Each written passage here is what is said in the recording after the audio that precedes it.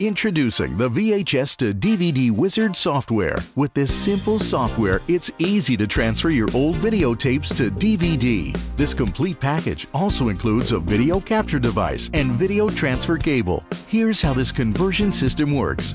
First, install the VHS to DVD Wizard software on your computer.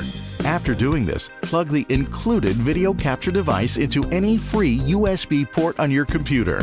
This device will allow you to transfer your videotape to your PC. Next, connect your VCR to your video capture device using the included transfer cable.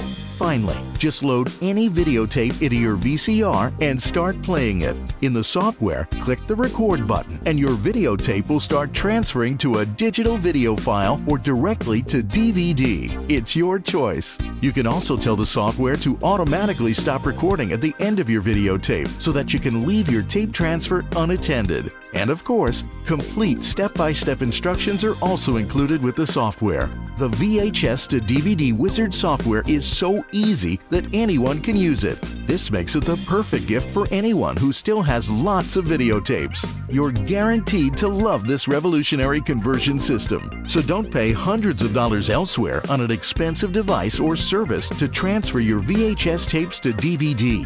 Enjoy your old videotapes once again in digital format using the VHS to DVD Wizard software. Get yours today.